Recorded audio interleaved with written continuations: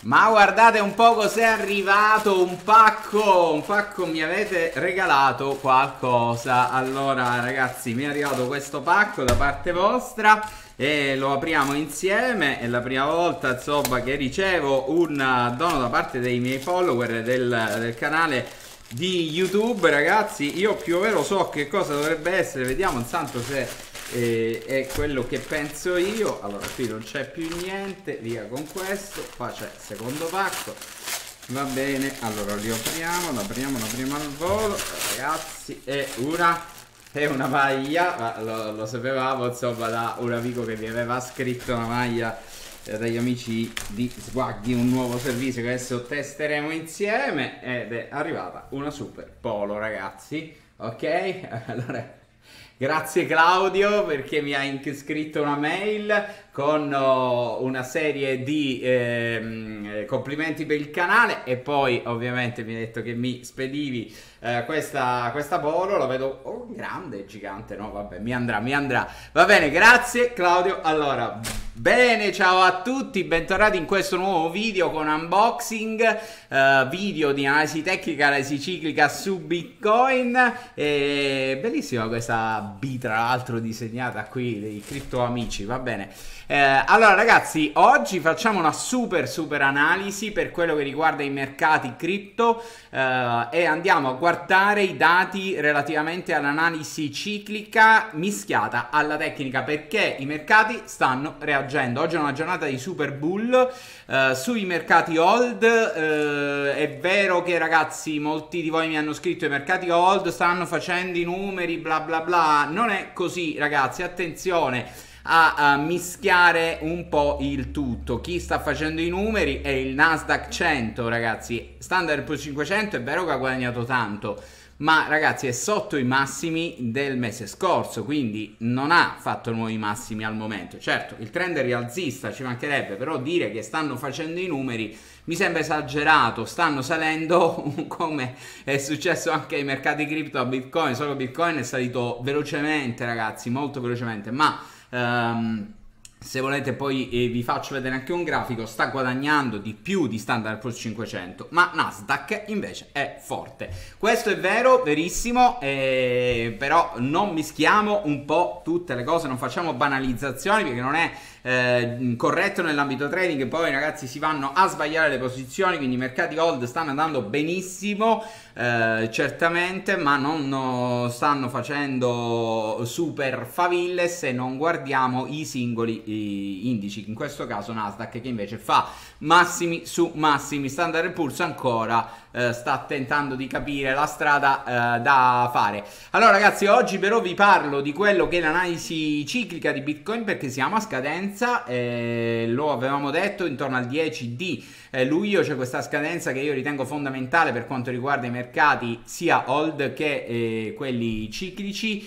Sembra, sembrerebbe infatti ragazzi che i mercati abbiano iniziato un po' a reagire. Già oggi i mercati hold infatti fanno bei rialzi, è ancora indeciso, sono ancora un po' indeciso su alcune cose, ma eh, da un punto di vista uh, di analisi su Bitcoin invece ed Ethereum, ragazzi voglio farvi vedere anche Ethereum oggi, molto bella, uh, c'è da, da, fare tante tante cose. Ragazzi poi sto facendo una serie di progetti nuovi per la mia Academy che sarà rivoluzionata praticamente in maniera totale, mm, ho preparato in questi ultimi tre mesi una serie di progetti che verranno implementati a brevissimo, eh, ovviamente eh, parlerò con i ragazzi dell'Academy a breve, non lo sanno neanche loro ragazzi, quindi lo eh, sto dicendo per la prima volta in questo video e poi vi farò sapere tutto quello che faremo perché sarà, diventerà estremamente più operativa eh, molto trading e si aprirà a tutti i mercati, quindi non soltanto a quelli cripto. Allora andiamo dietro di me Bitcoin, facciamo subito la ciclica perché ragazzi ci sono dei livelli che dobbiamo monitorare e io sono ancora fiducioso, io lo so che i mercati si sono addormentati.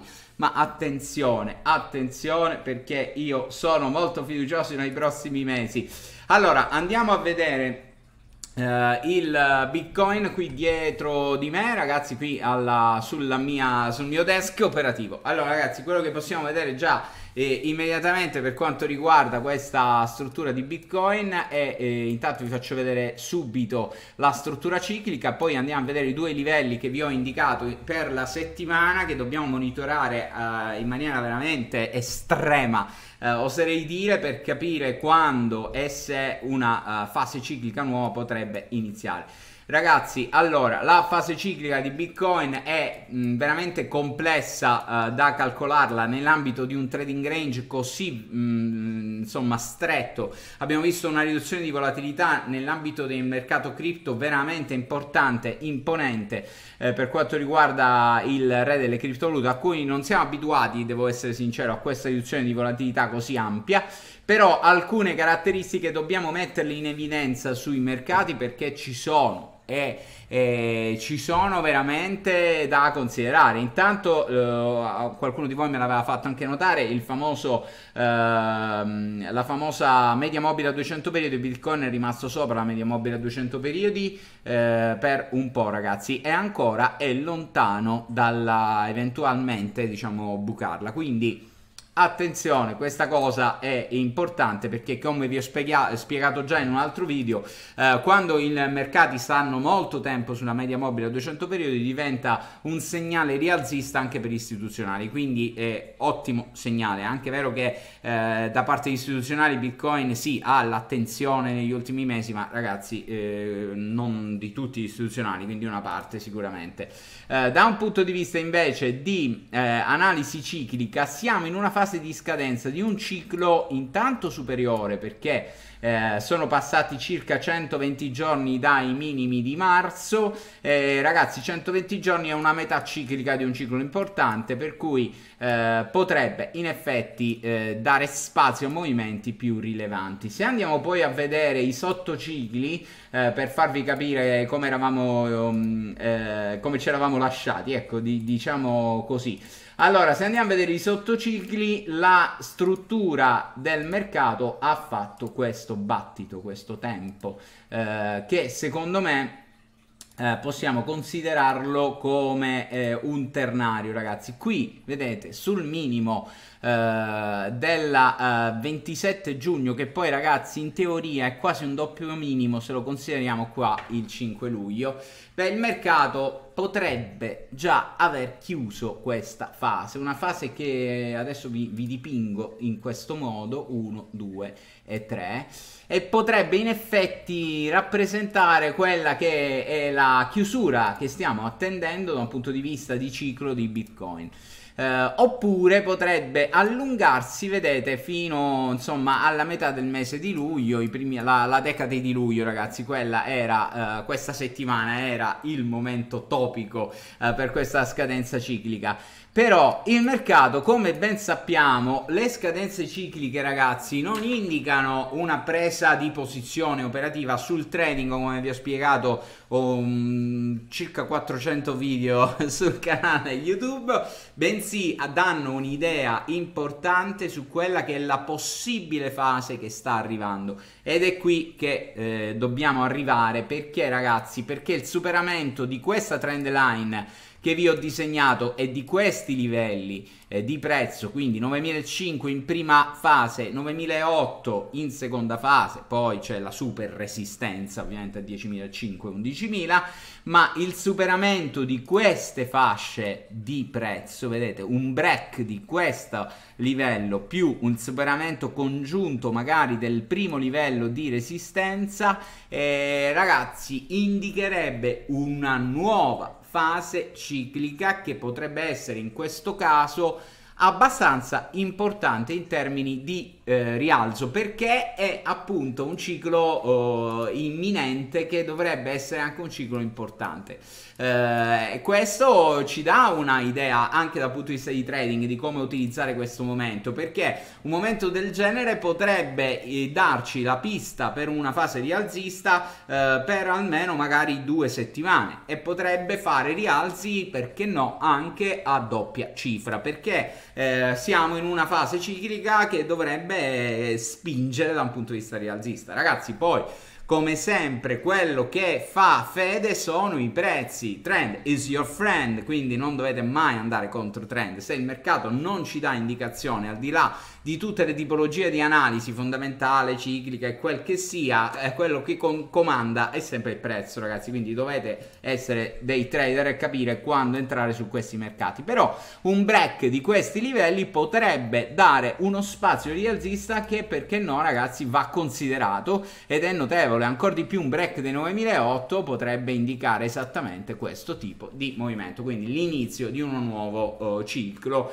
importante come quello che stiamo a attendendo. Eh, da un punto di vista invece di tempi a ribasso ancora c'è possibilità di fare nuovi minimi perché in realtà eh, il mercato in, tecnicamente ragazzi dovrebbe andare a fare un minimo al di sotto di 9000 e di 8006 Uh, però nulla vieta a Bitcoin di tranciare questo movimento ribassista con questa flemma che ha dimostrato e, e, magari semplicemente si è riposato in questi giorni allungando un po' i tempi facendo una volatilità che si chiama contrazione di volatilità e da qui in poi inizia il suo trend con calma. Eh, certo è che non possiamo escluderla questa posizione, anche il motivo mh, mm, per il quale eh, entrare in posizione a, ma- a, mercato long in questo momento senza strategia di stop loss e mh, mm, protezione è assurdo ragazzi, quindi non dovete fare cose di questo tipo ehm, per fare trading sui mercati, in questo caso è un trading di breve periodo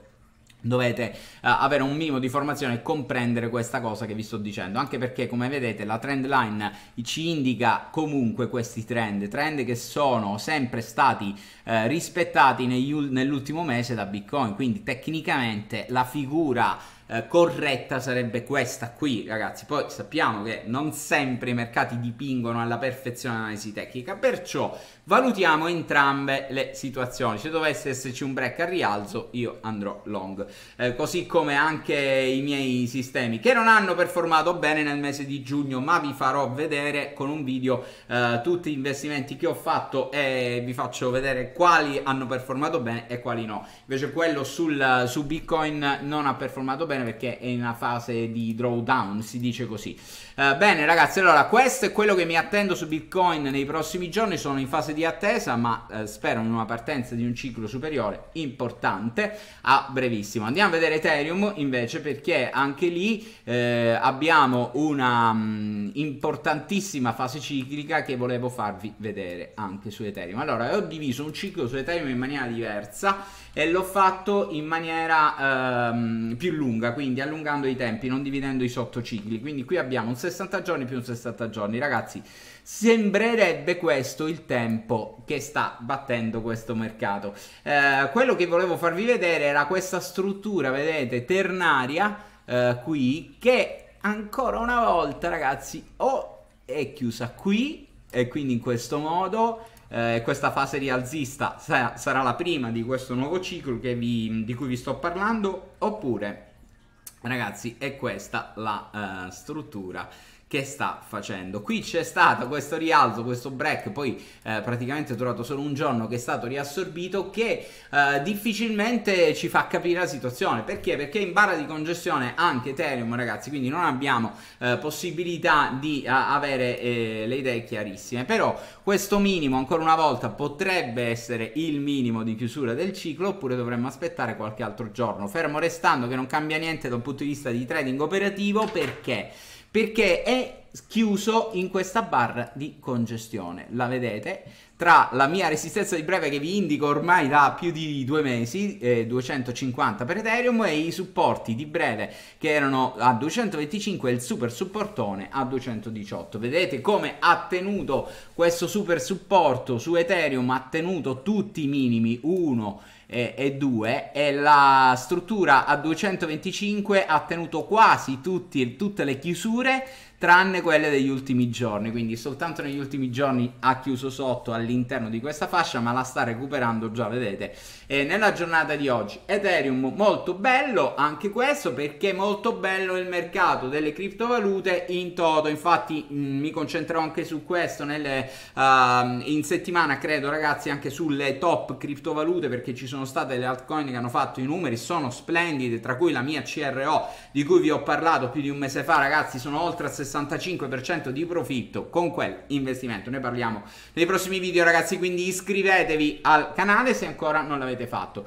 Per eh, l'operatività su Ethereum, ancora una volta, ragazzi, il livello di resistenza da battere è 2,50. Se però volete essere dei trader un po' più veloci, ma dovete essere, eh, tra virgolette, sgamati, cioè dovete sapere quello che state facendo, ragazzi. Se non avete formazione queste operazioni non potete farle, aspettate a quel punto il break dei 2,50. Eh, vedete dov'è la trend line? Come leggermente più uh, piatta rispetto a quella di Bitcoin, vi faccio vedere la differenza, vedete Bitcoin è più eh, ripida perché è sceso un po' di più, Ethereum un po' eh, più piatta, ma resta tutto confermato, cioè senza salire al di sopra di questo livello restiamo dove siamo in barra di congestione. Bene ragazzi, allora per oggi è tutto, vi ho fatto capire quello che può succedere. È una fase concitata. Attenzione ai livelli di prezzo di Bitcoin 2005-2008 non uh, stuzzicate il can che dorme ragazzi perché non, uh, è vero che siamo in una fase estrema di, di, riposo del mercato ma attenzione perché proprio in queste fasi estreme i pump e, e i dump purtroppo potrebbero essere veramente veramente eh, facili dal verificarsi. Eh, in settimana altri video ci sono tante analisi da fare ci sono i mercati hold che stanno uh, performando dovremmo considerarli. Io a dirvi la verità ragazzi c'è una posizione short ve lo dico dai massimi di questa mattina, ma la chiudo in giornata. Quindi oggi, oggi proprio ve l'ho detto, una posizione short su DAX, una posizione short su SP 500. Ma ragazzi sono già in gain, quindi ho già i trailing eh, stop posizionati e la chiuderò a brevissimo. Va bene, eh, sì, oggi siamo stati più colloquiali. Ci vediamo nel prossimo video. Come sempre, lasciatemi il pollicione e fatemi sapere cosa ne pensate nei commenti di questa analisi. Ciao a tutti!